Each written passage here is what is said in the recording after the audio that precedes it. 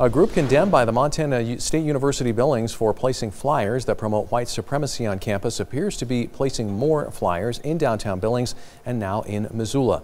This week, the white supremacy group Identity Evropa was condemned by the chancellor of MSU Billings, saying the university does not condone the position of the group.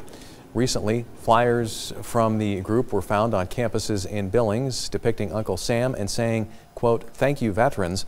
Now the group is tweeting pictures from other places in Billings to their Twitter account. One even in front of the MTN station KTVQ studios and the First Interstate building. On Tuesday, pictures of flyers were posted at the University of Montana campus and at the Missoula Vietnam Veterans Memorial. According to its website, Identity Evropa says its main goal is to create a better world for people of European heritage. The Southern Poverty Law Center, which tracks hate groups in America, has identified Identity Evropa as a racist group.